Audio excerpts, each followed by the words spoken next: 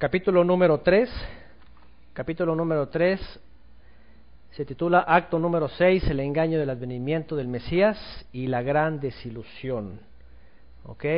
Acto número 6, dijimos que en toda la historia de la humanidad la intervención de Satanás ha sido tan fuerte que ha causado eh, muchos, muchas eh, circunstancias en la vida de la fe y califiqué a este como el número 6 de, desde, desde, la vida de Adán, pasando por Noé, eh, Abraham, Moisés y varias etapas.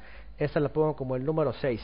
Y además porque pues el número 6 nos apunta obviamente a, un número de hombre y que tiene que ver con la, la conferencia que estamos viendo ahora. El engaño del advenimiento del Mesías es algo que se ha estado diciendo justamente y curiosamente desde la época de los Házares. Empezaron a promover esta edad mesiánica eh, cada vez más hasta que a finales del siglo XIX se dio con más fuerza, con todos los medios que había y con toda la riqueza que este imperio que dejó de ser, pero que, se extendió como familias judías en el, en el este de Europa, se hizo muy fuerte por vías de algunas familias importantes. ¿Ok? Entonces ese fue un engaño que vendría el Mesías cuando todo Israel ya, cuando, cuando todos los que estuvieran en la diáspora ya estuvieran en Israel y ya hubiera un Estado judío, dicen ya va a venir el Mesías. Y bueno, eh, agregué aquí la gran desilusión porque muchos de ellos eh, desde hace décadas cayeron en esta desilusión, en una depresión, en una apostasía y dejaron de creer en el Mesías. Hace años conocimos a un buen amigo judío que por cierto también es de origen así se llama Eddie Staroselsky, y eh, él, en lo poco que lo conocimos, nos contó esta gran desilusión. Él dice que, que subieron a, a, Jerusalén, fueron desde, desde Polonia, familia que, que sobrevivieron del holocausto, y fueron a, a, Israel, fueron los primeros que pusieron tubería, dice él, hacia el Negev, y trabajaron muy duro, muy duro para, para establecer eh, eh, tuberías de riego y, de, sembrar árboles y pinos y todo eso. Y, y, les prometieron tantas cosas que con el paso de los años se, eh, se notaba que todo aquello era una, un gran engaño, una gran mentira. este amigo regresó a México y cuando regresó, regresó con una fe despedazada, o sea, sin esperanza, sin las promesas, sin nada y vino a México como muchos otros que fueron a muchas partes de, la, del mundo, incluido Estados Unidos, y se dedicaron, en vez de a la fe, se dedicaron pues, a vivir una vida común, una vida como en las naciones, y estaban todos eh, con esta desilusión de que no era, no era cierto, de que cuando subieran a Jerusalén iba a venir el Mesías. Okay, y en las primeras décadas del siglo pasado, hasta 1950, 60, eh, todo esto ocurrió y eh, en vez de que ocurriera eso, pues ocurrió una, una gran apostasía y, finalmente el Estado de Israel fue cedido a, a, manos laicas, a hombres laicos que se dedicaron solamente a promover un Estado laico y además pues sangriento como, como lo vamos a estar viendo. Bueno, Actualmente y desde hace aproximadamente medio siglo, enseguida de la llamada época de la Ilustración, luego del término de la Edad Media o del Oscurantismo, surgieron dentro del movimiento judío de Europa los primeros llamamientos para regresar a Israel por el advenimiento del Mesías. Las condiciones que vivían todos los judíos, especialmente en Rusia y Europa del Este, eran hostiles y difíciles. Síntomas ya descritos en la Torá que el pueblo sufriría por causa de la desobediencia. Para un pueblo que había desconocido a Yeshua como el Mesías, será obvio que el Mesías era esperado en cada generación.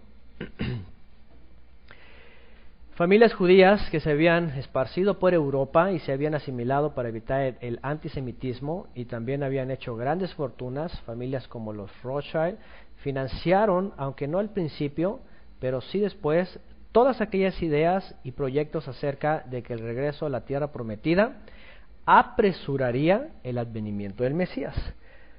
Por el año de 1896, un acaudalado millonario judío asimilado con principios liberales y adiestrado por el iluminismo o ilustración estaba convencido sobre lo que se llamó el problema judío y determinó que el fin del sufrimiento de los judíos sería el tener una nación judía en Palestina.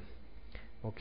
Esto es algo que mencionamos en la conferencia pasada, en donde vimos que es un mandamiento eh, permanecer en la diáspora por causa de eh, un castigo del Eterno hasta que el Eterno concluya con este castigo. Dicen, y si alguien, y si alguien se atreve a, a anticiparse o a querer terminar con el castigo antes de tiempo, dice, va a traer maldición. Entonces, eso es lo que calificaban ellos como el problema judío. ¿Qué hacemos? Todo el tiempo por aquí y por allá nos persiguen, nos persiguen. ¿Y qué hacemos? Bueno, llegaron a esta conclusión, ¿verdad? Eh, era tener una nación judía. Y aquí extraje un texto del famoso libro de Hitler que se llama Mi lucha, en 1924, en donde, por cierto, aunque, aunque obviamente sabemos que fue una pieza muy importante el holocausto, y más adelante vamos a ver de dónde surge este holocausto y para qué era, Hitler comenta en este libro, que por cierto él era, era de madre judía, dice, se trata de un gran movimiento que tendía a establecer claramente el carácter racial del judaísmo. Este movimiento era el sionismo, Aparentemente apoyaba tal actitud solo un grupo de judíos, en tanto que la mayoría lo condenaba. Sin embargo, al analizar las cosas de cerca, esa, esa apariencia se desvanecía, descubriéndose un mundo de subterfugios de pura conveniencia, por no decir de mentiras. Los llamados, entre comillas, judíos liberales rechazaban a los sionistas, no porque ellos no se sintiesen igualmente judíos, sino únicamente porque éstos hacían una pública confesión de su judaísmo, lo que los sionistas consideraban inconveniente y hasta peligroso. ¿Ok?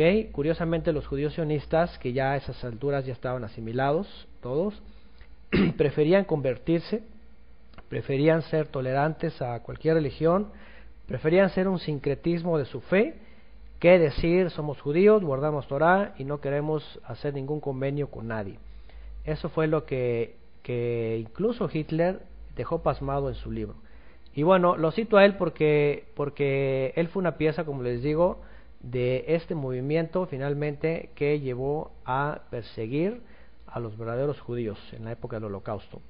Este dato es interesante porque expresa las condiciones a las que todo creyente se expone en expresar su fe. La crítica y la burla eran un motivo de que los judíos laicos no mostraran lo que heredaron como fe, puesto que buscaban acomodarse en los ambientes laicos sin ser excluidos.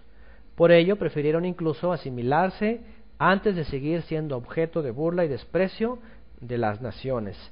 En cualquier sociedad el sistema te pedirá callar tu fe con tal de no ser ridiculizado o excluido.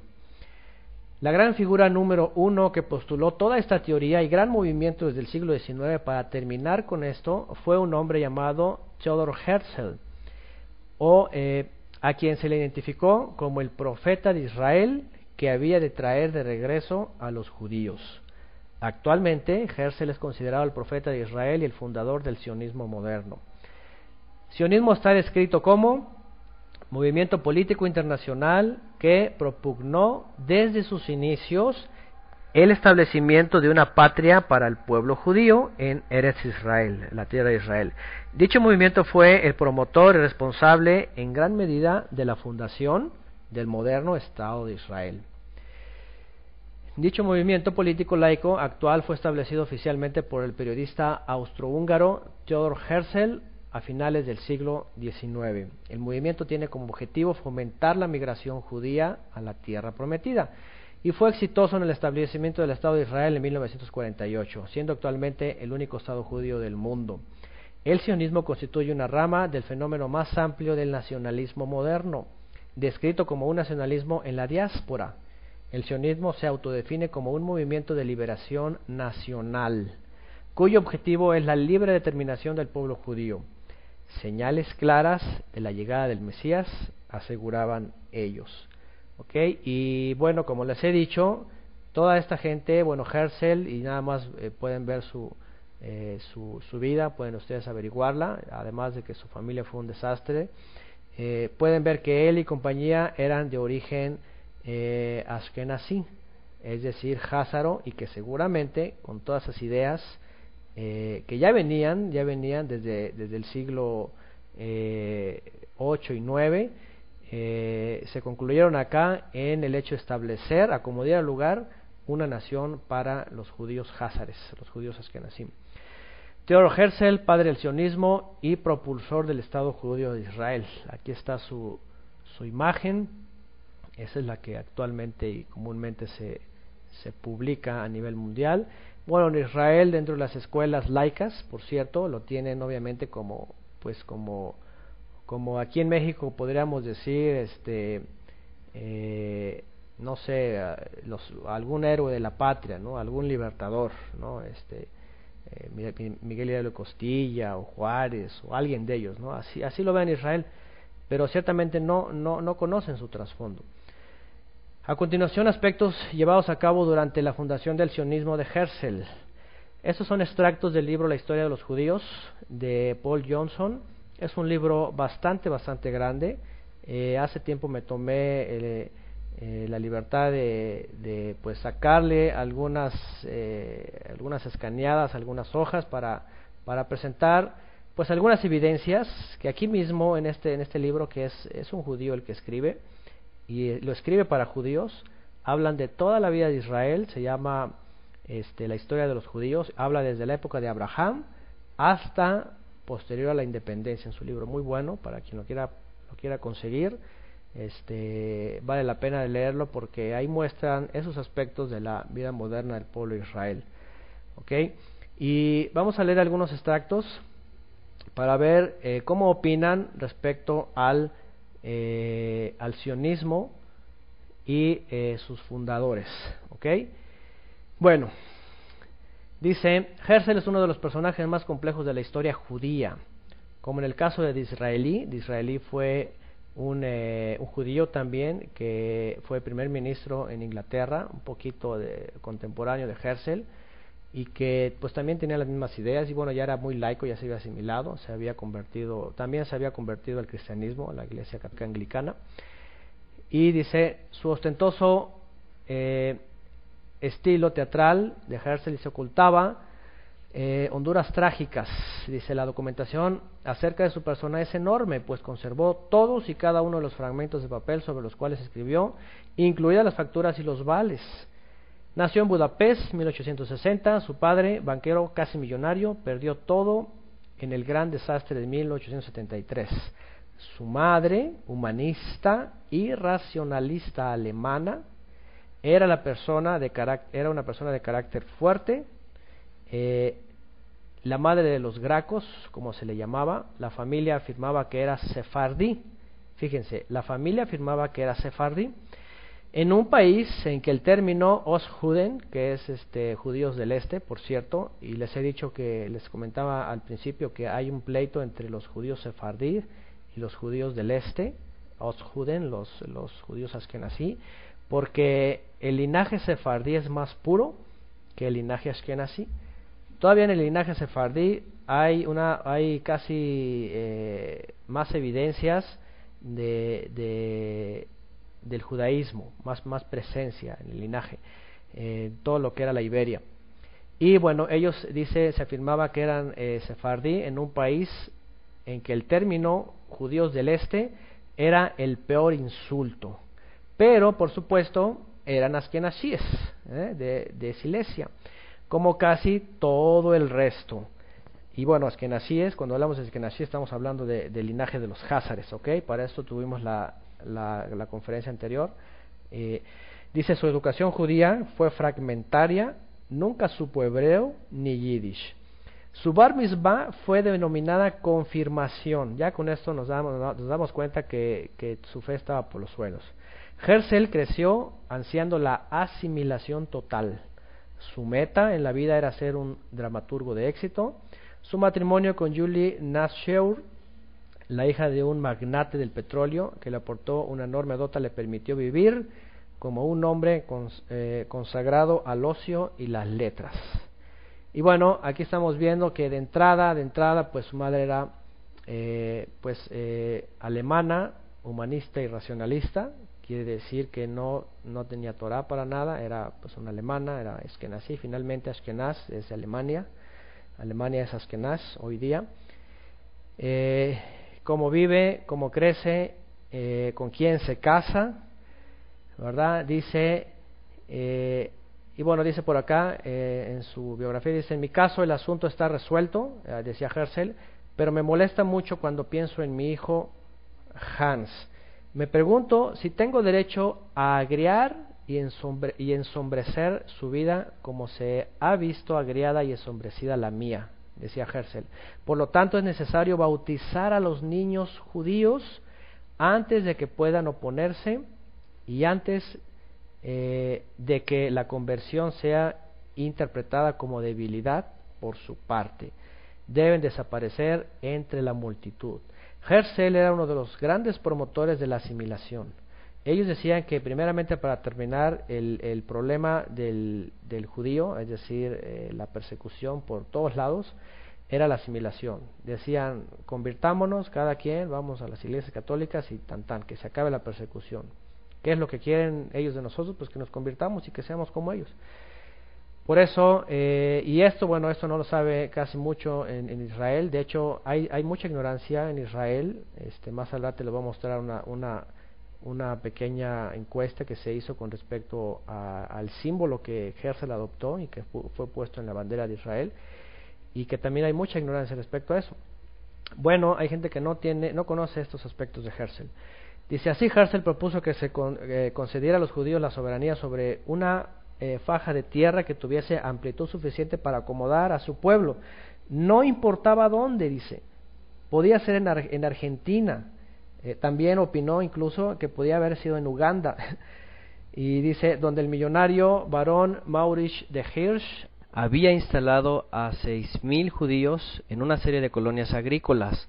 O podía elegirse Palestina, donde ya existían colonias análogas financiadas por Rothschild. Apréndanse esta, este apellido, vamos a hablar también de ellos. Lo que importaba era la aprobación de la opinión pública judía, fíjense. No no lo que importaba era la Torah, importaba lo que la, la, aprobación era de, de, la opinión pública judía. De hecho, en su biografía, y eso está documentado, lo pueden ustedes investigar, Herzl decía en donde sea que fuera el Estado judío, pero necesitamos un Estado judío. Podía ser en Uganda, en Argentina, en donde sea, decía él.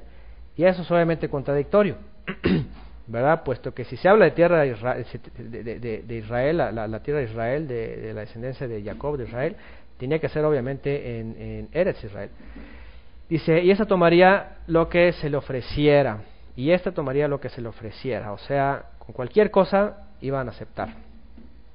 Bueno, vamos a seguir leyendo. Dice, en Sofía, el rabino principal lo proclamó, de hecho, el Mesías. ¿Qué les parece? Ese rabino lo, proclamó el Mesías. Luego dice, el ejército, dice, se reunió públicamente por primera vez, hablando del sionismo, de, todo el grupo sionista, se reunió públicamente por primera vez el 29 de agosto de 1897 en el gran salón del casino eh, municipal de Basilea, se autodenominó primer Congreso Sionista e incluía delegados de 16 países.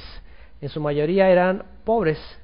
Herzl tuvo que financiar el Congreso con dinero de su propio bolsillo, pero obligó a los delegados a vestirse, ah, dice, prendas formales oscuras y corbatas blancas son de rigor en la sesión de apertura. Ataviados de ese modo, los saludaron con el antiguo grito judío Yehija Melech, que es viva el rey.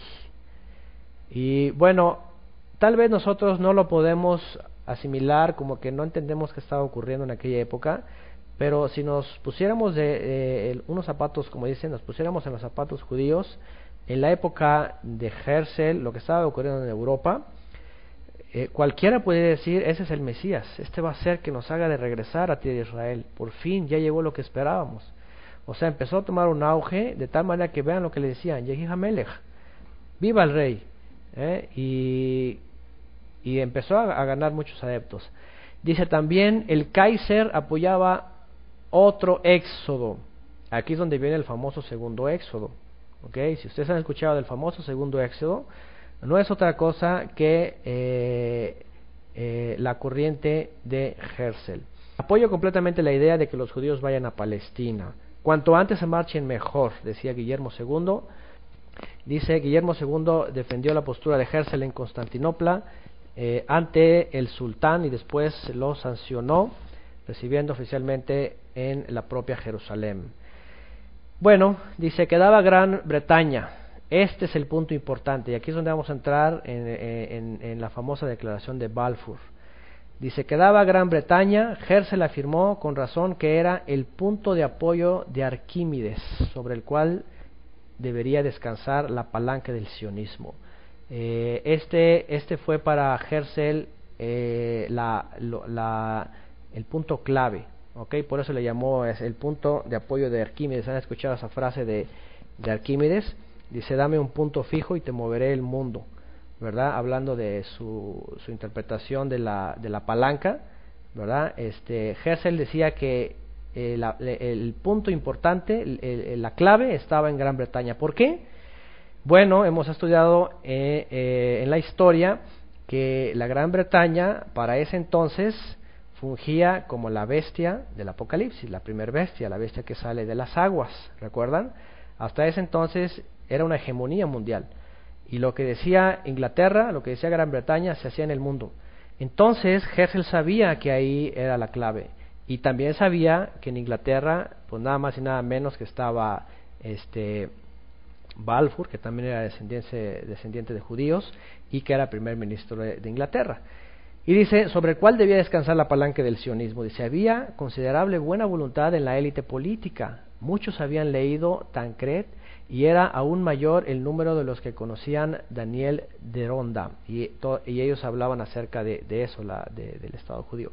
Además, a Gran Bretaña había llegado una inmensa corriente de refugiados judíos rusos, provocando el temor de que se exacerbara el antisemitismo o se esparciera el antisemitismo y la amenaza de la imposición de cuotas de inmigrantes. En 1902 se designó una comisión real para la inmigración de extranjeros, de la cual formaba parte Lord Rothschild. Se pidió a Herzl que atestiguara y Rothschild al fin aceptó verlo en privado. Esa es una conexión importante. Los Rothschild eh, surgen de Alemania y de Inglaterra, ellos establecen la banca internacional. Antes en, Inglaterra y en Europa no había moneda, no había, no había billetes Okay, todo se manejaba en base a eh, documentos y en base a oro.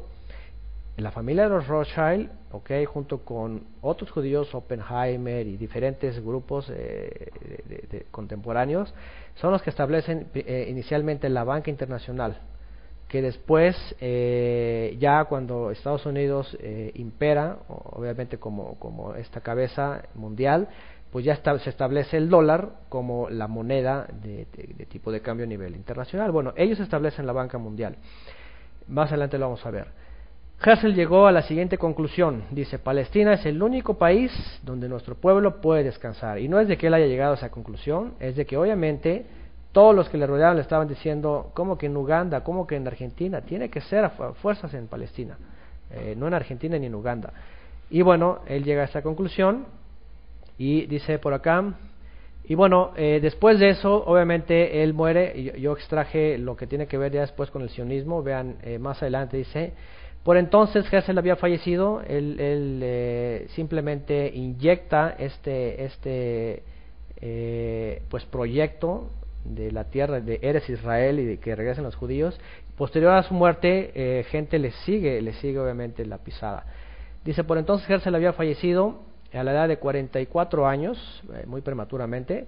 Eh, la suya fue una historia de sacrificio excepcional, dice sus heroicos esfuerzos a lo largo de 10 años sumamente activos destruyeron su cuerpo y arruinaron su matrimonio. Dice, el legado que dejó a su propia familia fue lamentable. Su esposa Julia le sobrevivió solo tres años. Su hija Paulina se convirtió en adicta a la heroína y falleció en el 1930 como consecuencia de una sobredosis. Su hijo Hans, trastornado por Freud, ¿okay? ¿se acuerdan de, Freud? Se suicidó poco más tarde. Otra hija, Trud, murió de inanición, de inanición en un campo nazi y el hijo de esta, Stefan, también se suicidó en 1946, con lo cual la familia desapareció. ¿Qué les parece? Y, y no fueron asesinados, o sea, fue, fueron, fueron muertes trágicas, fueron, y digo, a juzgar por lo que dice la escritura, cuando ocurre eso era porque definitivamente pues había una rebeldía eh, pues en esa familia, ¿no? O sea, con muertes tan trágicas y lo que ocurrió. Pero dice, pero el sionismo fue la progenie de Herzl. Dijo a Stefan Zweig en sus últimos meses, mi error fue comenzar demasiado tarde. Si supierais cuánto sufro el pensar en los años perdidos, en realidad, cuando Herzl murió, el sionismo era un movimiento sólidamente establecido con un amigo poderoso en Gran Bretaña. ¿Okay? Y bueno, más adelante vamos a ver quién, era, quién era ese amigo poderoso. Y vean, vean lo que extraje de una página con respecto al 57 aniversario de la famosa independencia, y eso fue hace varios años. Eh, y eso lo pueden encontrar en internet, por acá está el link, también lo pueden ver. Dice, Israel está celebrando su 57 día de la independencia. Lamento decir que la pregunta principal que formulamos antes del establecimiento del Estado de Israel y a lo largo de los años hasta el día de hoy es, ¿se trata de un Estado judío con todo lo que eso significa o es solo un Estado para cualquier tipo de ciudadanos que viven en él? Hay dos posibilidades de un Estado judío, dice este autor. Una es tener un Estado judío en la tierra santa de Eres Israel, como lo fue prometido en la Torá, para ti y tus hijos daré esta tierra, y poder observar las mitzvot o las, las ordenanzas, los mandamientos, que dependen de la vida en Eres Israel. Este es el significado de un Estado judío como el corazón y el alma del pueblo judío. La otra opción, dice este autor, es tener un Estado que sea como cualquier otro.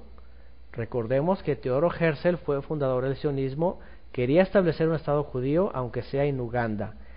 Hay grandes diferencias entre un Estado judío en Tierra Santa y un Estado en Uganda. Y bueno, este, este lo pueden encontrar aquí en esta página eh, con respecto a cuando fue el 57 aniversario. Y no creo que es el único, o sea, hay muchos, hay muchos que escriben respecto a eso, que dicen que no están de acuerdo obviamente con lo que está ocurriendo, es algo que está fuera de la Torah. Y bueno, hemos hablado del resultado. Vamos a continuar. Dice, de todos modos, cuando Herzl falleció, el sionismo todavía era solo una tendencia minoritaria dentro de las grandes corrientes religiosas y seculares de la evolución judía.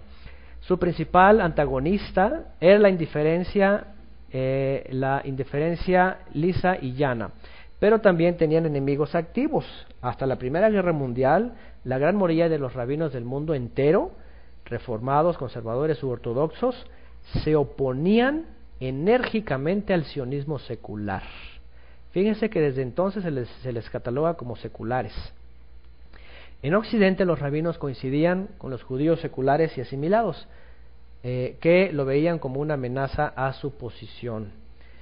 Dice abajo, en cambio, en Oriente y por supuesto en Rusia, de donde vendrían la mayoría de los partidarios del sionismo, recuerden Rusia también son Askenazim, dice de donde vendrían la mayoría de los partidarios del sionismo, la oposición religiosa era enérgica e incluso fanática. Este hecho tendría consecuencias importantes para el futuro Estado israelí. En general, los fundadores del sionismo fueron no solo occidentales, sino a los ojos de los ortodoxos también ateos. Ateos. Cuando Herzl y, eh, bueno, bueno, cuando Herzl y Nordau asistieron juntos al servicio del Shabbat en vísperas del primer Congreso sionista, era la primera vez que volvían a esa práctica desde la niñez y fue necesario que se les instruyesen acerca de las bendiciones. Los ortodoxos conocían todo esto. ¿Se dan cuenta? Se dan cuenta que en aquella época Herzl, al que llamaban el Mesías, de pronto, después de haber dejado toda, toda su adolescencia y madurez el Shabbat, de pronto lo invitan al Shabbat en, vísperas del primer Congreso Sionista y no sabe hacer las bendiciones. O sea, ¿ustedes qué dirían? Esto, esto, o sea, ya, ya al Mesías suena burla. A judío, pues ni parece. A un convertido, pues no convence, porque ya un convertido que por lo menos tiene un año, ya sabe hacer las bendiciones, ya conoce por lo menos Kiddush. Entonces, vean la calidad de este hombre, ¿ok? Este, y estoy mostrando evidencias que vienen en este libro de un judío que habla de judíos para judíos. Bueno, dice, la mayoría de ellos entendieron que el sionismo secular merecía todas las objeciones formuladas contra la ilustración, además de otra y muy importante, la de que era una perversión blasfema de una de las creencias judaicas fundamentales y más sagradas. La idea de que el sionismo religioso y el secular eran dos caras de la misma moneda es absolutamente falsa. Para los judíos religiosos, el retorno a Sion era una etapa en el plan divino de usar a los judíos como precursores de la humanidad entera.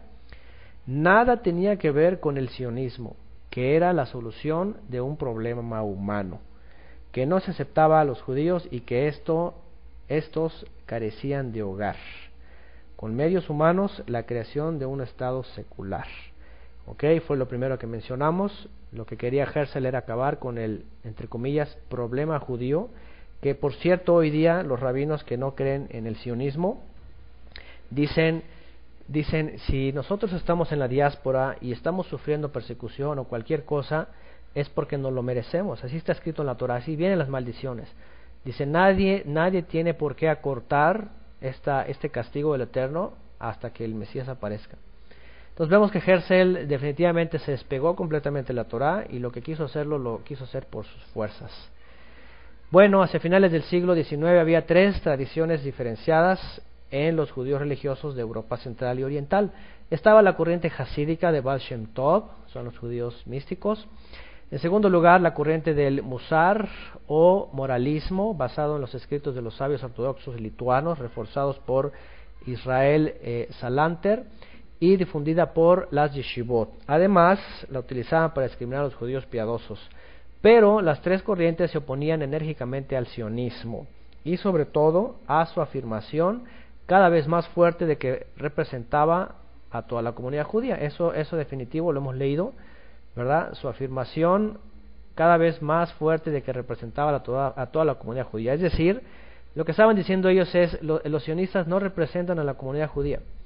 Los sionistas no representan a la comunidad judía. Ellos, ellos no son judíos, es lo que estaban tratando de decir. Sadoc de Lublin dice, escribió estas líneas características. Vean, Jerusalén es la más excelsa de las, de las cumbres y hacia ella se dirigen los corazones de Israel. Pero temo que mi viaje y ascenso a Jerusalén puedan parecer un gesto de aprobación de la actividad sionista. Ansío la presencia del Señor, mi alma ansía su palabra y que llegue el día de la redención. Espero y me mantengo atento a la aparición de sus pies ungidos. Pero aunque trescientos azotes de hierro me aflijan, no me apartaré de mi lugar, no ascenderé para beneficio de los sionistas.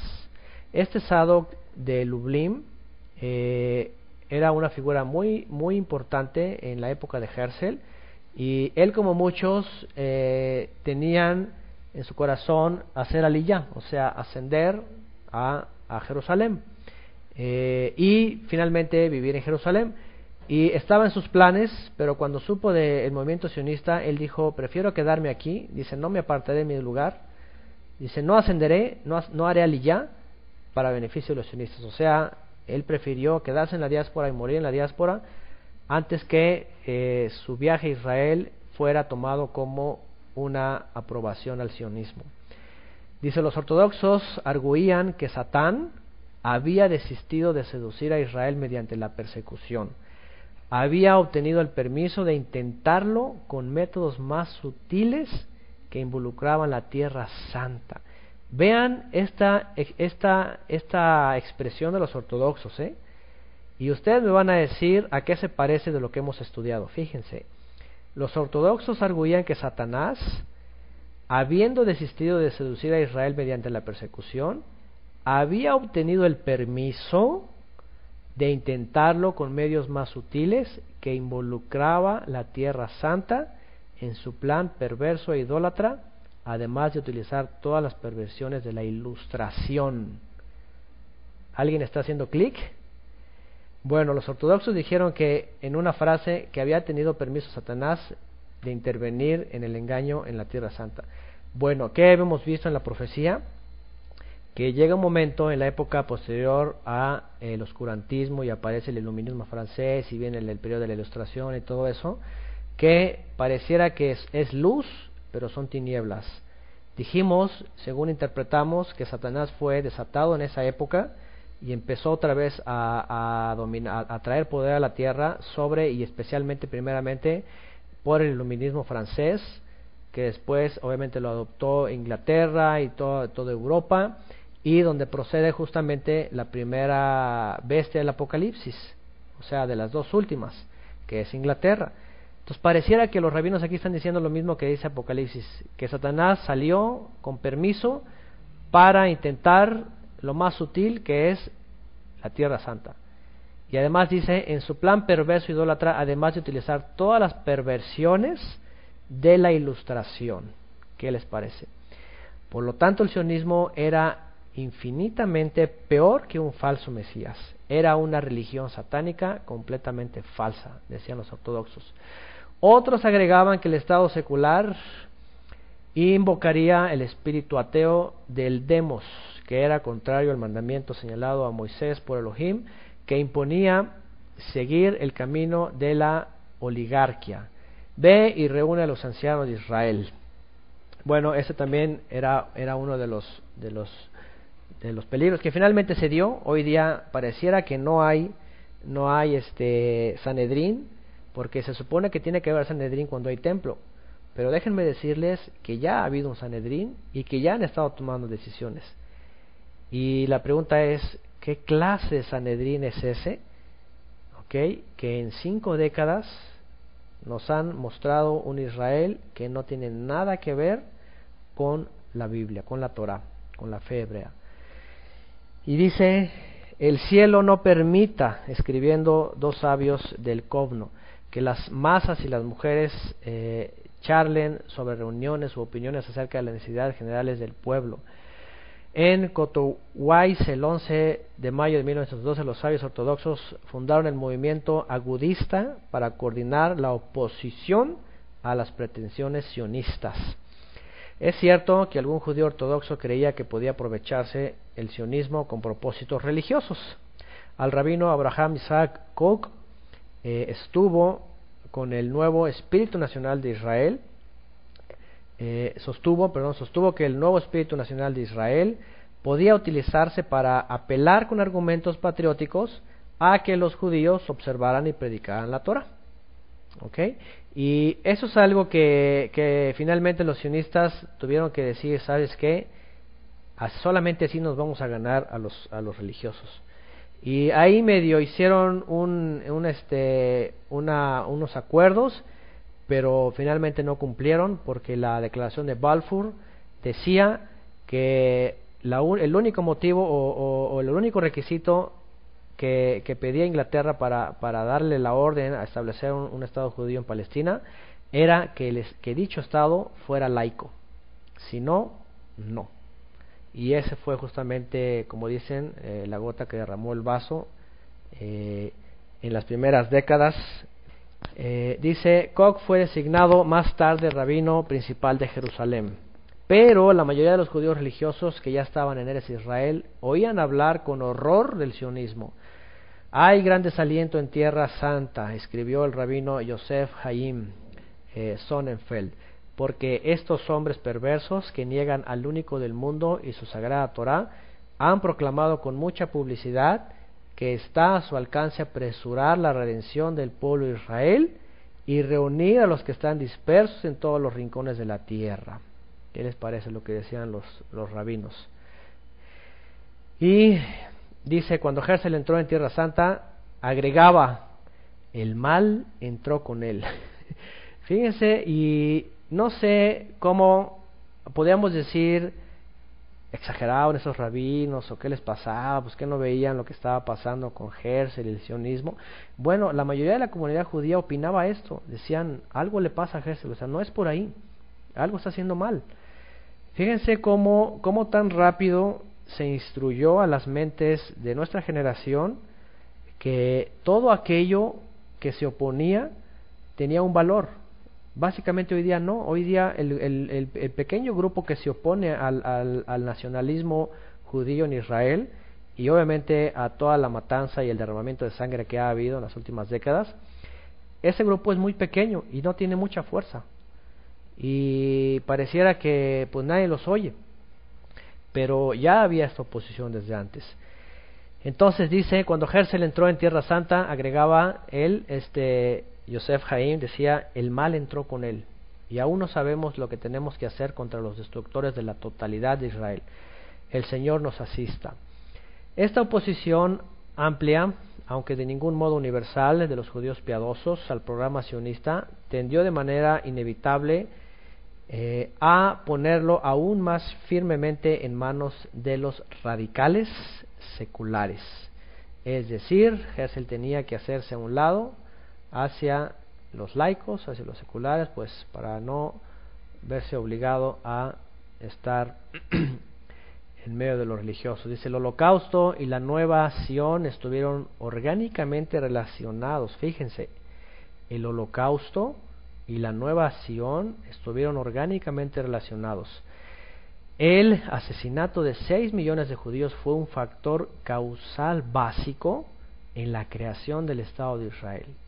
Y esto armoniza con la antigua y poderosa fuerza motriz de la historia judía, la redención por medio del sufrimiento.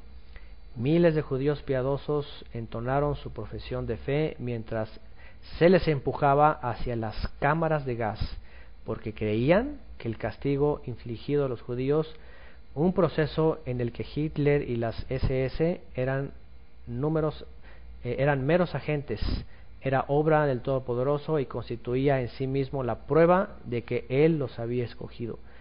Según el profeta Amos, Elohim había dicho, solo a vosotros he reconocido entre todas las familias de la tierra, y por lo tanto os castigaré por todas vuestras iniquidades. Los sufrimientos de Auschwitz no eran meros sucesos, eran sanciones morales, formaban parte de un plan, confirmaban la gloria futura. Además, Elohim no solo estaba irritando a los judíos, estaba dolorido, lloraba con ellos, los acompañaba a las cámaras de gas, como los habían acompañado al exilio. Bueno, estas declaraciones son interesantes. Tanto los religiosos, los judíos religiosos se resignaban a recibir esa, esa persecución, esa, esa, pues finalmente ese castigo, pero era por solamente defender su fe. Mientras que el holocausto y la nueva Sion estuvieron orgánicamente relacionados, hay comentaristas que dicen que los sionistas, aliados con, obviamente, y manejados y manipulados por los jesuitas y los Illuminati, ok, eh, organizaron con Hitler y toda su gente, que por cierto Hitler era de madre judía y muchos de sus generales eran judíos, organizaron, algunos creen que organizaron el holocausto para perseguir a los judíos religiosos que se oponían al sionismo. Y después ellos mismos usaron el holocausto para eh, condicionar a la mente de todas las naciones que el pueblo judío, entre comillas, necesitaba un Estado judío en donde no se les molestase. Y con ello recibieron todas las, todas las cartas de autorización y eh, de poder entrar eh, a sitiar la, la, antigua ciudad de Israel eh, y hacer una matazón de gente hasta el día de hoy con tal de obtener la tierra a la manera que se había establecido desde el principio del sionismo moderno con Herzl. Dice, la creación de Israel fue consecuencia de los sufrimientos judíos, pero de los judíos verdaderos, los que, bueno, en un sentido, los que no estaban apoyando a los sionistas, los que solamente esperaban en la Torah. Dice, hemos utilizado la imagen del rompecabezas para demostrar cómo cada pieza necesaria vino a ocupar su lugar. Como hemos visto, las grandes masacres orientales en 1648 que por cierto el holocausto no fue la primera y la única. En esta ocasión también dice, condujeron al retorno de una comunidad judía a Inglaterra. Por lo tanto, Estados Unidos, y eso a su vez eh, el punto de partida de la comunidad judía más influyente del mundo. Parte indispensable del ámbito geopolítico en que era posible crear Israel. Asimismo, las masacres de 1881 desencadenaron toda una serie de acontecimientos orientados hacia el mismo fin, hacia el mismo fin. La inmigración que provocaron fue el trasfondo del caso Dreyfus, que condujo directamente a la creación del moderno sionismo de Herzl.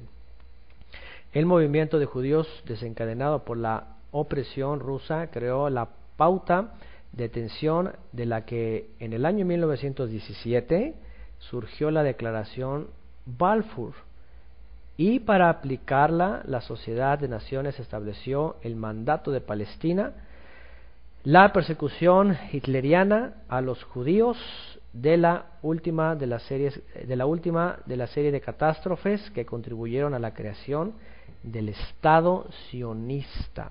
Ojo, el autor aquí dice del Estado sionista, no dice del Estado judío o del Estado pues hebreo.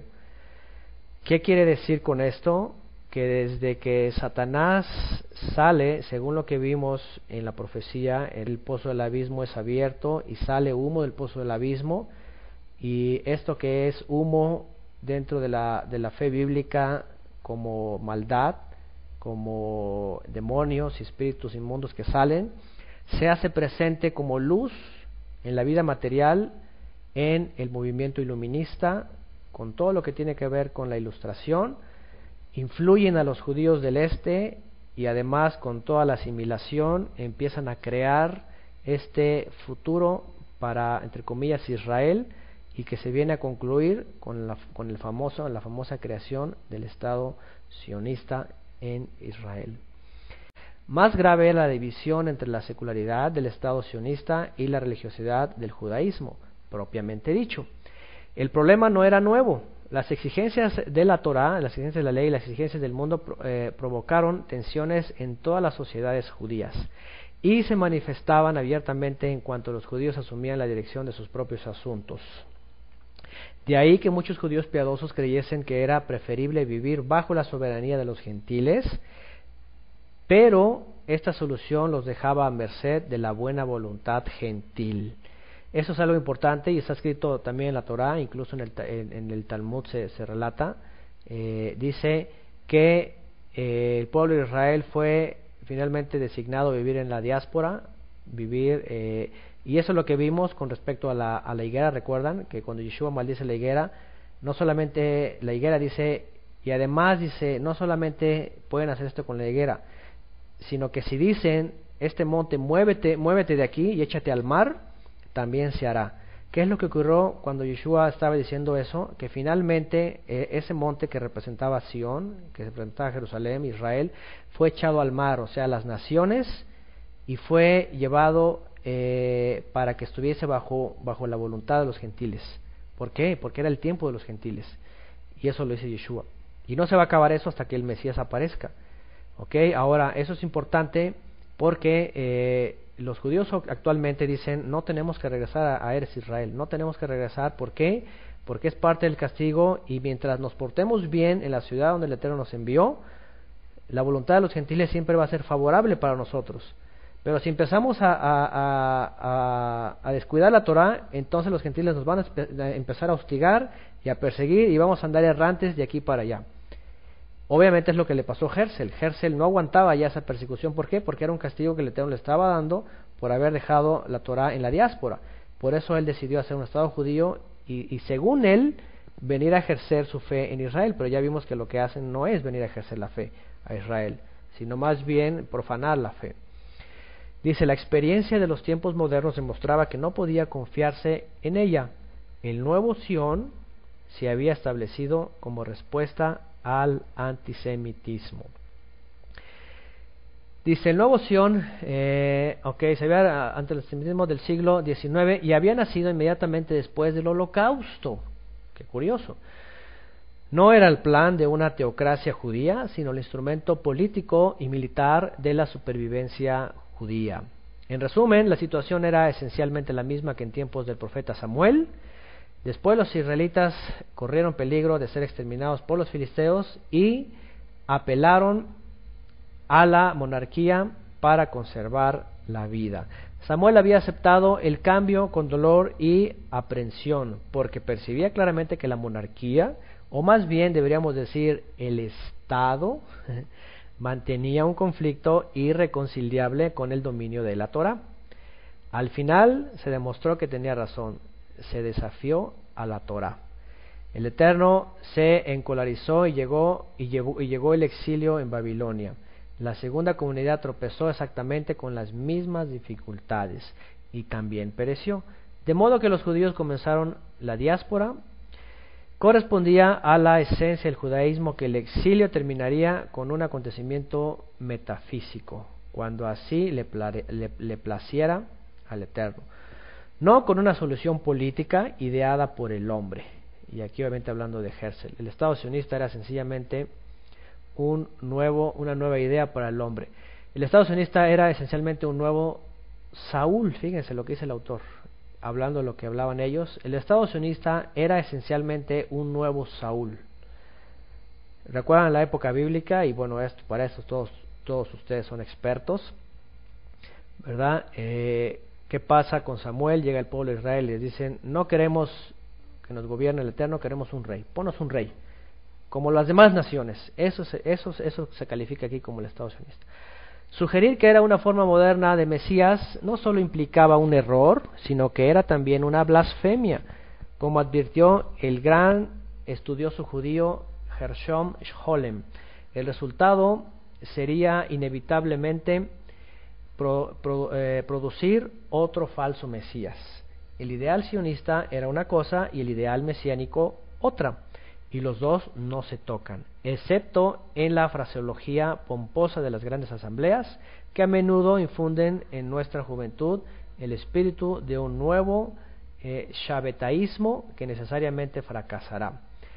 Es cierto que los sionistas, que en su mayoría no eran religiosos e incluso eran contrarios a la religión, invocaban la ayuda del judaísmo. No tenían alternativa. Sin el judaísmo, sin el concepto de los judíos como un pueblo unido por la fe, el sionismo era apenas una secta de chiflados. Invocaban también a la Biblia, extraían de ella toda clase de llamamientos políticos, morales, retóricos e idealistas. Y eso hasta el día de hoy, ¿eh? déjenme decirles que esa famosa expresión del segundo gran éxodo fue esto, fue pura retórica, ¿ok? Fueron eh, extractos de, la escritura para decir que ya llegó el segundo éxodo. Pero como lo hemos visto, el segundo gran éxodo en realidad ocurrió en la época posterior al primer exilio. Eso fue el, segundo gran éxodo. Además, el famoso Salmo 126 que usan para, para llamar al regreso al del exilio, eh, no dice, en hebreo no dice cuando el Señor haga volver la cautividad de Sión, seremos como los que sueñan. Si ustedes van a fuentes hebreas, se van a dar cuenta que el Salmo dice, cuando el Señor hizo volver la cautividad de Sión, nos parecía que soñábamos. Está hablando en tiempo pasado. Dice, entonces nuestra boca se llenó de alegría y nuestra lengua de alabanza. Quiere decir que sí estaban usando bien la escritura para tratar de eh, imponer una idea de que, se, que estaba ocurriendo eso. Pero curiosamente los rabinos decían, no, eso no está pasando. Y aquí aparece David Ben Gurión, dice, Ben Gurión la utilizaba como guía de estrategia militar, pero eso era una mera forma europea oriental de la ilustración judía. El sionismo nada tenía que ver con Elohim propiamente dicho.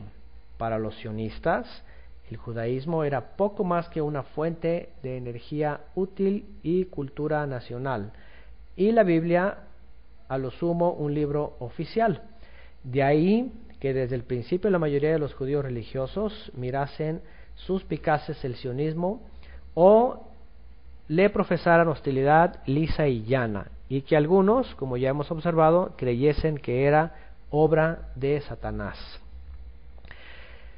Bueno, dice acá, pero si como Samuel aceptó ungir a Saúl, también los judíos religiosos tuvieron que admitir la existencia del sionismo y adoptar eh, actitudes frente a él. Y eso es lo que les he dicho. Finalmente, todo el Eterno lo tiene controlado. Él permitió que ocurriera eso. No es de que no tenga que existir. Lo que, a lo que voy finalmente es de que, ¿cómo lo vamos a ver? si como que es parte de nosotros, de nuestra fe, o es algo que el Eterno permitió para sus propósitos. ¿Ok? Finalmente es lo que hicieron los rabinos de esa época, pensar igual que Samuel.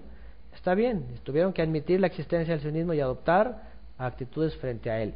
Hubo varias corrientes de pensamiento y todas variaron en el curso del tiempo, todas eran ortodoxas, el judaísmo reformado no presentó ningún papel en la colonización de Palestina y en la creación de Israel hasta 1958 no se construyó la primera sinagoga reformada. Bueno, dice, eh, por acá dice, no era posible que la declaración Balfour fuese un modo de fuga ordenada por la divinidad. En 1937 uno de los líderes, Isaac Breuer, nieto del famoso rabino Hirsch, formuló una pregunta formal al Consejo de Grandes Hombres. Vean lo que preguntó él. La declaración de Balfour imponía a los judíos la tarea ordenada por Elohim de construir un Estado o era un ardid satánico. Vean la pregunta que les hacen.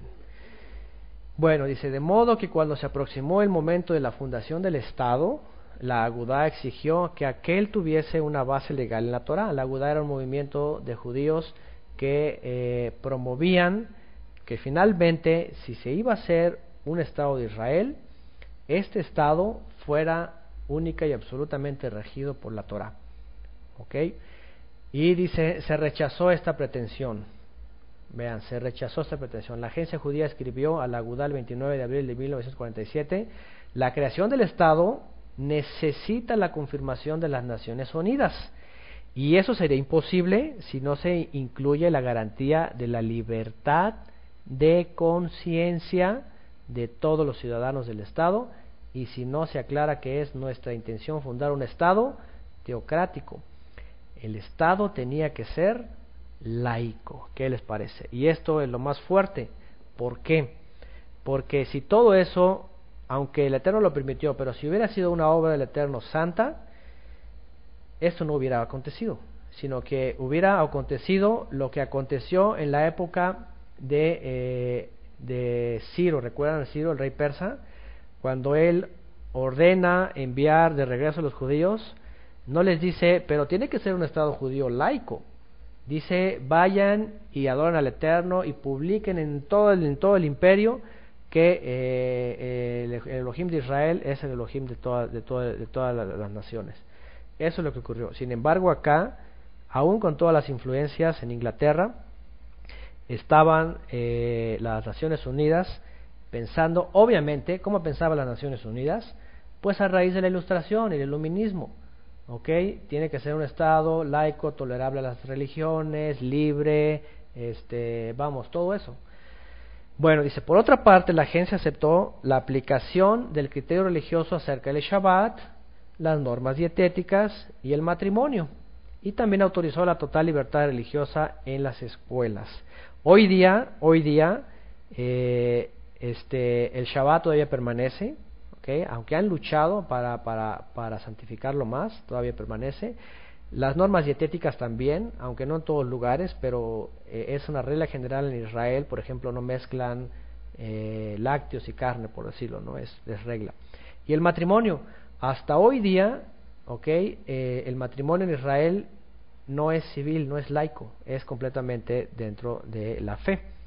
Eh, tanto que hay grupos que están luchando con eso. Hace tiempo les comentaba una noticia que acabo de ver, que un grupo de judíos estuvieron eh, abogando para que no se permitiera el matrimonio civil, porque desde que se fundó Israel, todos los matrimonios han sido bajo la jupá. Hechos por rabinos. Pero obviamente la gente laica que se quiere casar en Israel, ¿qué hacen? Salen ya sea que van a Egipto, ya sea que van este, a, al norte, a Siria, a, Siria, ya sea que van, este, algunos se van a Chipre, etcétera, dependiendo de los recursos, se van a casar fuera porque son matrimonios mixtos, ¿ok? Porque en, Israel no, los rabinos no casan matrimonios mixtos, tienen que convertirse. Bueno, esos todavía, esos fueron parte de lo que sí lograron, el Shabbat, las leyes bíblicas de la dieta, de la alimenticia, el matrimonio y escuelas religiosas, que por cierto están muy divididas. ¿okay? Y también hay un pleito ahí en que quieren, quiere, quiere el gobierno eh, quitar esto. quiere que las escuelas religiosas ya enseñen eh, materias laicas, que enseñen este, eh, la evolución, la, todas esas cosas, que, que, enseñen, vamos, lo que, lo que aprenden eh, todos los niños a nivel mundial. ¿ok? Y los religiosos se están luchando para que no, para que en las escuelas eh, religiosas se enseñe solamente Torah y en base a la Torah. De ahí más no tienen por qué enseñarles cosas que no son, que, los dinosaurios y que la evolución, que el chango y que todo aquello nada que ver. Bueno, este compromiso permitió que la Agudá perteneciese al Consejo Provisional de Gobierno en el comienzo del Estado y que, como miembro del Frente Religioso Unido, formase parte de coaliciones gobernantes durante el periodo 1949-1952. El punto de vista de la Agudá fue expresado así el 10 de octubre de 1952. El mundo fue creado para el bien de Israel, es deber y mérito de Israel mantener y cumplir la Torá. El lugar donde Israel está destinado a vivir y por consiguiente a mantener la Torá es Israel. Eso significa que la razón de ser del mundo es la creación del régimen de la Torá en Israel. Se ha enseñado los cimientos de esta idea. Ahora hay judíos que viven en su patria y cumplen la Torá pero todavía no se ha alcanzado el objetivo total, pues no todo Israel vive ya en ese país y ni siquiera todo Israel está cumpliendo la Torah. Antes de que llegaran los sionistas en Israel, los judíos que vivían cumplían la Torah. Hay testimonios de eso. O sea, todos lo hacían eh, muy felizmente, incluidos con los árabes, no había ningún problema. Pero cuando llega el sionismo nacionalista, comienzan todos esos pleitos. Y bueno, si se fijan, eso era el propósito, que la Torah fuera única y exclusivamente lo que sobresaliera en Israel. En resumen, la Agudá se comprometía a usar el sionismo para completar el reagrupamiento y transformar el resultado de una teocracia. Así como los compromisos de Mizrahi originaron la Agudá, a su vez, esta engendró un grupo rigurista autodenominado Neturei Karta, que son los guardianes de la ciudad. Recuerdan que les he hablado de Neturei Karta, hasta el día de hoy existen.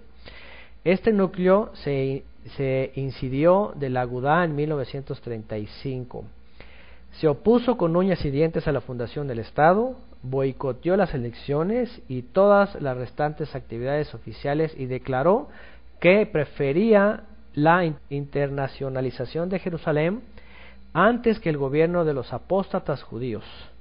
El gobierno era relativamente pequeño y extremista a los ojos de, perdón, el grupo era relativamente pequeño y extremista a los ojos de los individuos de mente secular. Déjenme decirles que Neturei Carta hasta el día de hoy existen. Si ustedes buscan en internet Neturei Carta, se van a dar cuenta y tienen su página, son, son judíos, judíos este, Hasidim, incluso ortodoxos y ultra ortodoxos, que se oponen a Israel. De hecho, ellos son los que queman las banderas de Israel, las aparecen con así unas tachas y dicen no al genocidio, no al derramamiento de sangre, no es tomar a la fuerza a Israel. Ellos hasta el día de hoy permanecen. Dicen no aprobamos el odio o la hostilidad y sobre todo el combate a la guerra, sea cual fuere su forma, contra ningún pueblo, nación o lengua, pues nuestra sagrada Torah no nos ordenó eso en nuestro exilio, sino al contrario. Si como consecuencia de nuestros muchos pecados aparentemente compartimos el destino de, de estos de esos rebeldes contra el Señor, dice, el cielo no lo permita, todo lo que podemos hacer es orar por el santo, bendito sea, de modo que Él pueda librarnos del destino de aquellos y salvarnos. Eso es lo que decía Netura y Carta. Dicen Natura y Carta, los guardianes se veían ellos mismos como un resto o un remanente que rehusaba doblar la rodilla ante Baal. y aquí viene este grupo, ¿verdad? Que eran muy pequeños, pero, pero que se veían como el remanente, como en el tiempo de Elías. O cenar a la mesa de Jezabel. Bueno, dentro de todo lo que cabe, eh, puedo, puedo imaginar lo que estaban entendiendo y estaban pasando y bíblicamente podemos ver que definitivamente, eh, pues sí, finalmente sí es un remanente que no está de acuerdo con todo ese laicismo. El sionismo era una rebelión contra el rey de reyes, dice Natura y Carta, y en la teología de estos creyentes estaba implícito que el Estado acabaría en una catástrofe peor que el holocausto. Y no se diga si se viene una guerra de las magnitudes como la Tercera Guerra Mundial. Dice, por lo tanto, desde su nacimiento el Estado laico, el Estado sionista laico afrontó una triple oposición religiosa y pues bueno, ahí yo les tenía unos videitos de Neturei Carta, no los voy a publicar porque a veces nos falla y no hay tiempo también eh, para aprovechar el tiempo, pero ustedes pueden buscar así eh, en la internet, Rabino habla sobre Gaza y sionistas, ok, y también hay, hay un interesante eh, video por acá de desde el Parlamento británico, un, uno de los legisladores en, el Parlamento británico de pronto sale eh, en una de esas sesiones y empieza a leer una carta así terrible que habla justamente de cómo Inglaterra ha estado desde entonces eh, eh, pues protegiendo, ayudando y siendo cómplice de tanta matazón y derramamiento de sangre que es innecesario. Bueno, esos, esos eh, videos se los, se los debo, se los voy a enviar y para que luego los tengan y los puedan ver, ¿ok? Y hay otro video también que habla del holocausto y el sionismo. Ese video también es, es muy interesante porque ahí habla un, un judío, un rabino, que dice eh, con respecto al, al, holocausto, y hay muchos, hay muchos que hablan de eso, hay un documental enterito en donde, en donde se muestra, también se muestra a unos ancianos que aparentemente estuvieron en, el holocausto y fueron, son, son descendientes de, víctimas del holocausto y los cachan, los cachan fingiendo. El, el entrevistador, aparte como que les, les empieza a decir, aquí como, como que veo algo extraño, y ellos como que se apartan y dicen, bueno, es que estamos haciendo ese trabajo y no queremos que le digas al encargado y bla, bla, bla y como si, como si fueran unos instrumentos de, del holocausto para sensibilizar a las naciones. De hecho, todas esas películas que ustedes ven en el holocausto, hay dos maneras de verlas. Todas esas películas que ustedes ven en el holocausto, hay dos maneras de verlas. De sensibilizar su corazón y decir, ay, pobrecitos, ay, está bien, vamos a apoyarlos. Y sí, saquen las banderas y Israel tiene que tener una nación. Esa es una manera equivocada de apoyar, de, de ver las películas, errónea. Tenemos que verla desde el punto de vista de que eso ocurrió verdaderamente, sí ocurrió, yo no lo estoy negando, porque hay gente que lo niega, pero todo parece que sí ocurrió, sin embargo, fue una, una, una herramienta, okay, una maquinaria del sionismo para obtener finalmente sus propósitos en la tierra de Israel. Okay, entonces, este, aquí también en este video hay un, hay un rabino que habla, que dice, nosotros, dice, somos los que vivimos el holocausto, no ellos. Ellos no, ellos están usando el holocausto para su, para su bien, pero no fueron ellos los que, los que lo vivieron, sino nosotros. Así dice este, este rabino ya muy, muy viejo. Ok, la declaración de Neturei Carta. Judíos Internacionales Unidos contra el Sionismo, que será pronunciado en Gaza el 13 de julio del 2009. Esto ocurrió en aquella época. Y les voy a leer lo que dicen estos señores. Un mensaje desde el corazón de Gaza a las personas y todos los palestinos desde la comunidad judía religiosa antisionista con la ayuda del Todopoderoso. Ellos, obviamente, eh, es un grupo que, que tiene nexos con, con, los palestinos. No que apoyen en sí la causa palestina o, lo que se dice que es la causa palestina, pero no apoyan tampoco la matanza que han hecho eh, durante varias décadas los sionistas en la tierra de Israel. ¿okay? Estos hombres lo que dicen es, no es el tiempo, no son así las cosas, no debe ser así. La Torah no dice eso, la Torah dice, ama a tu enemigo, no lo, no lo mates, no lo destruyas. Así que eh, ellos se han encargado de decir que el sionismo pues es, es eh, un instrumento de Satanás, eh, porque finalmente pues Satanás es el autor de la muerte. Y dicen ellos, nosotros, una delegación de rabinos judíos religiosos de Neturei Carta, hemos llegado a Gaza como visitantes para mostrar nuestro más sincero apoyo y solidaridad con el pueblo de Gaza y con toda Palestina, que ha sufrido durante más de 100 años por las manos del movimiento sionista. Próximos con las víctimas de la opresión sionista, nosotros sentimos desde lo profundo de nuestros corazones la terrible tragedia que está sucediendo perpetrado en contra de ustedes sin interrupción. Durante más de 100 años los sionistas han oprimido y degradado un gran pueblo, un pueblo que es amigo de los judíos, un pueblo que ha proporcionado para el pueblo judío un refugio seguro, la amistad, la hospitalidad y todo lo que uno podría pedir de un buen vecino. Tenemos testigos vivos hoy, las personas que aún pueden dar testimonio de que la buena relación que existía entre los judíos y los pueblos palestinos en la ciudad de Al-Quds y en toda Palestina por cientos de años hasta que comenzaron las actividades sionistas e incluso después, pero poco a poco este mal movimiento que ha construido un muro de separación, un muro de desconfianza e incluso odio entre el pueblo judío y esta gran nación, el pueblo de Palestina. Hay un video también donde aparece un rabino muy grande que dice él, dice, dice mis padres y mis abuelos siempre han vivido aquí. Dice, y antiguamente ellos con palestinos, con árabes, se la llevaban muy bien, eran vecinos, se encargaban incluso a sus hijos y podían salir y encargarse a sus hijos y no pasaba nada, dice, vivíamos en paz. no, hay, no hay este odio en realidad, no hay este odio entre árabes y judíos, hay odio entre los sionistas y entre los fundamentalistas islámicos, ahí sí, pero no es lo mismo entre árabes y judíos. Dice ellos, a fin de obtener la simpatía y el apoyo del mundo, el movimiento sionista ha robado la identidad judía. Fíjense esa, declaración, ¿eh?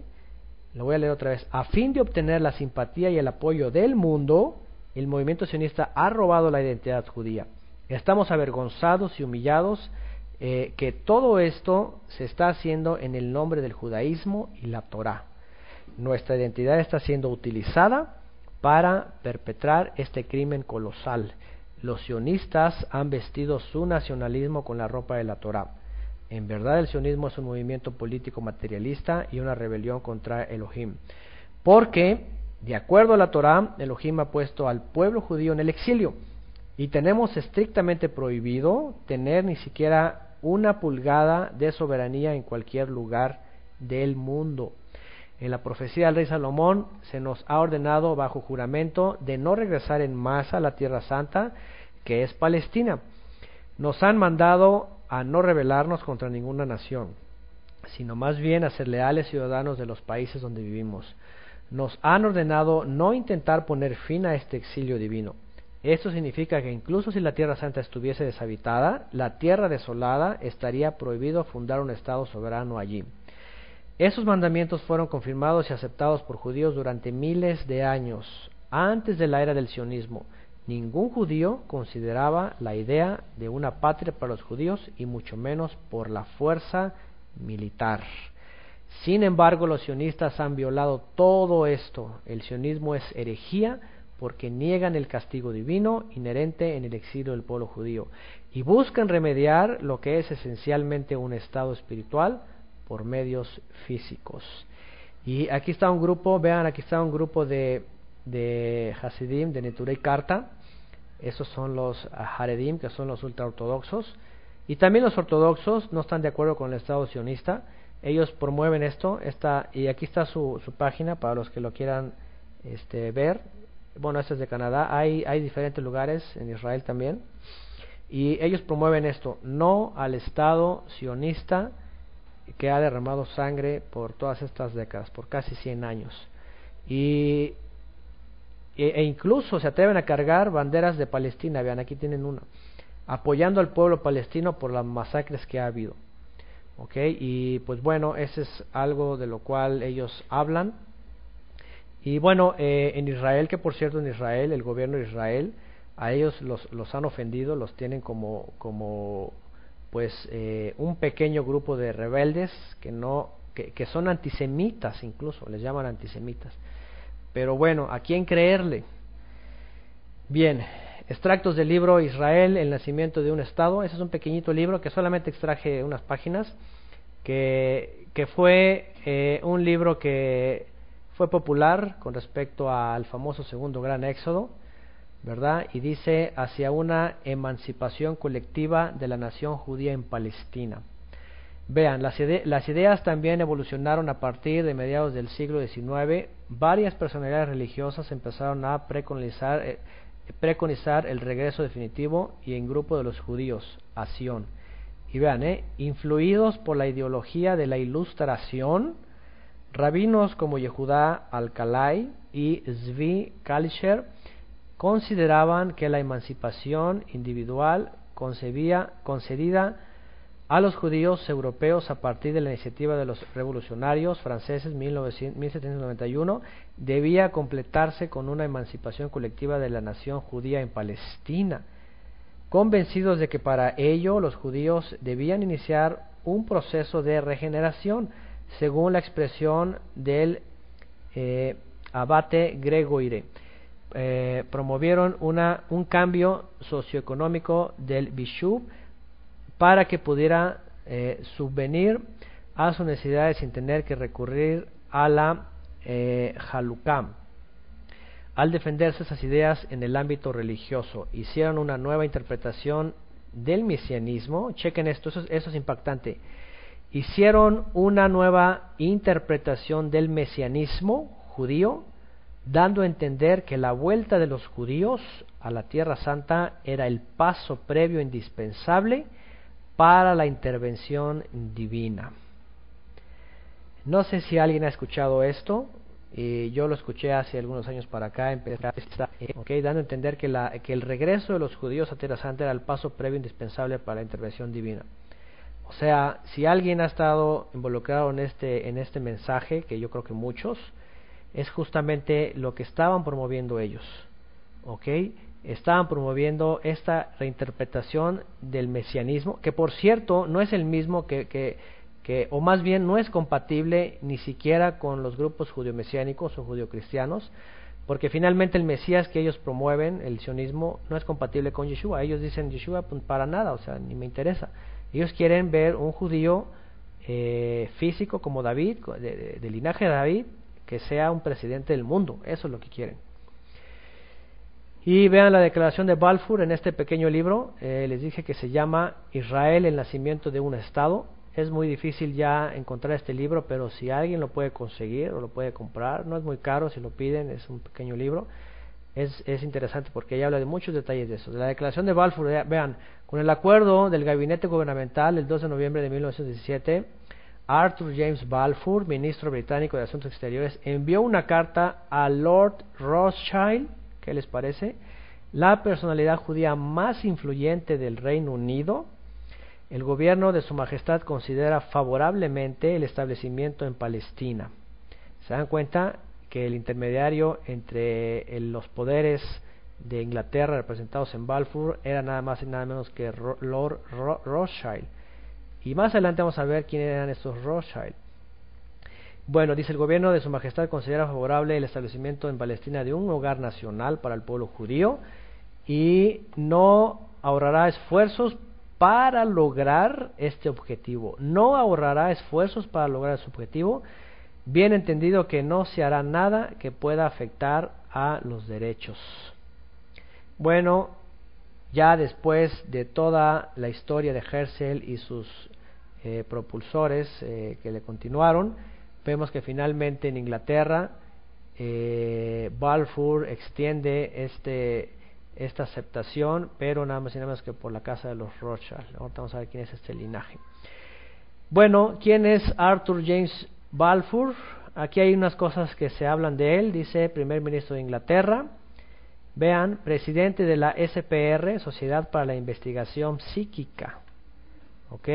Para que nada más vean qué tipo de pensamiento era este hombre miembro de una organización llamada los Apóstoles de Hor, creador de una organización llamada la Sociedad Sintética, que tenía como una de sus metas crear una sola religión mundial. Junto con Frederick Myers, miembro del SPR, crearon el preámbulo para todas las religiones, el cual incluye el dogma, los espíritus que se han ido pueden comunicarse, o sea, era un consultor de espíritus. Entre sus obras destacan ensayos y discursos, fundamentos de la eh, creencia, teísmo y humanismo, teísmo y pensamiento. Bueno, obviamente era un hombre completamente instruido por la ilustración, eh, en cuestiones psíquicas también, ¿ok?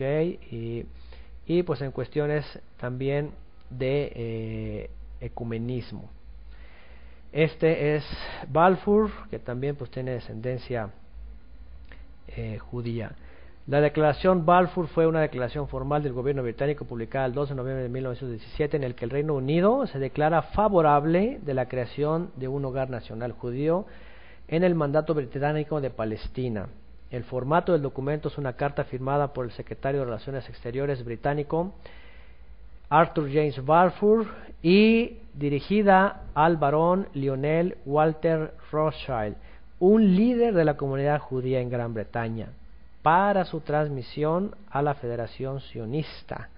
La declaración donde el gobierno británico decidió apoyar la, creación de un hogar judío en su mandato es considerada como el primer reconocimiento de una potencia mundial, eh, un imperio mundial, a Inglaterra recuerden, de los derechos del pueblo judío sobre la tierra de Israel. ¿Ok? Y con eso tenemos de dos.